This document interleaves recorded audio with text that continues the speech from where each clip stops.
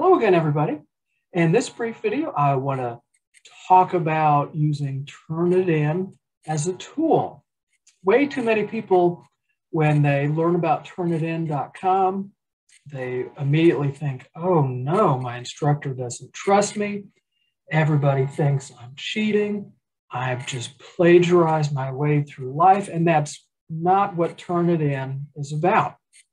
Turnitin is a really effective tool to help you become more aware of plagiarism as well as documentation. So what we're going to do is we're going to take a look at some of the screens that I see as an instructor.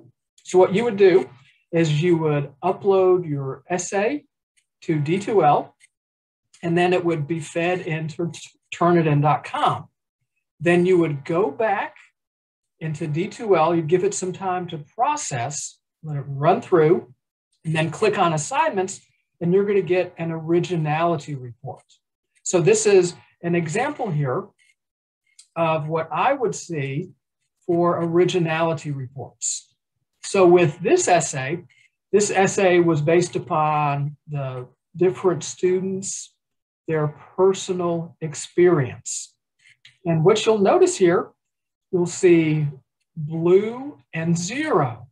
That means that the report from Turnitin.com perfectly a-okay which if you're writing about something based upon your own experience this is what you would want to see you'd want to see zeros so you upload your paper early you give it time to run through Turnitin and then you come back and check and it says zero and you go everything is as it should be life is good so another example, you see some zeros, and then you see, ooh, a 4%.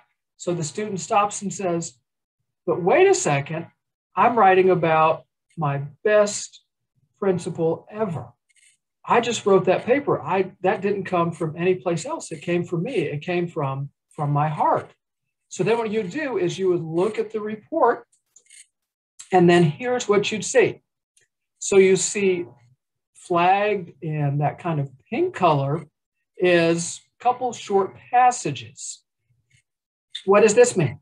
Does this mean that you plagiarized the words year, I'm a better person for having known and being taught by?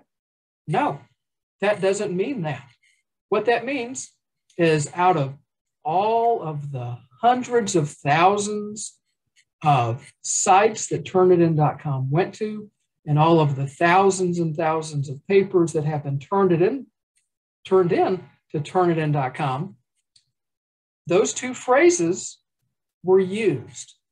So again, and that doesn't mean that you plagiarized. There's so much content online as well as in Turnitin that this this happens. And by the way, the, the more that you write, yeah, this is going to happen. And what this is called, this is called not plagiarizing. This, this is not plagiarizing. So when you see stuff like this happen, you really don't have to worry because you've done nothing wrong.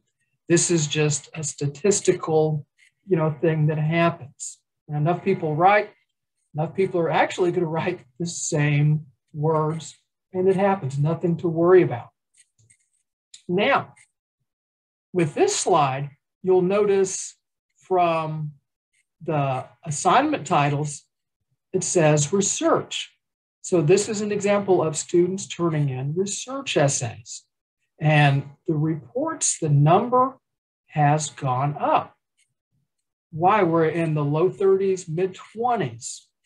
Well, that's what it should be like for a research essay. If you turn in a research essay and it's blue, right, it has zero, something's wrong because you're not using your research. And now what we can look at is how to use Turnitin as a tool to check and make sure that you're citing properly. So this would be an example of a report. Just like we saw before, the, the different colors being used to highlight that information that has been found. And what do we see? Is this reason for concern? Absolutely not. Why? What do we see? Well, we can see, right, we have a signal phrase. We're naming the author. We have the attribution here. We have, what do we have? A direct quote, direct quote, citation. Do we need to worry about that? No, that's everything as it should be. What about the next one? Quotation mark, we have a direct quote. Then what do we have? The citation, right? And there we have our signal phrase. That's as it should be. And then what do we have here? We have a quote from the poem itself. How do we know? Quotation mark. Here's this line number citation, quotation mark. So this is how you can use Turnitin as a tool when you do a research essay. Write your research essay, save that document, upload it to Turnitin, give it time to run through, and then come back and then look at the report. Make sure that those passages that are flagged have attributions, right? They're cited, and that everything is well. So this is not an example of plagiarism. This is an example of proper and correct use of citations. This is how it should be. So again, when we hear Turnitin and we use Turnitin, use it as a tool to help you learn to properly cite and avoid plagiarism. So until we get to be together again, be well, do good work, and keep in touch.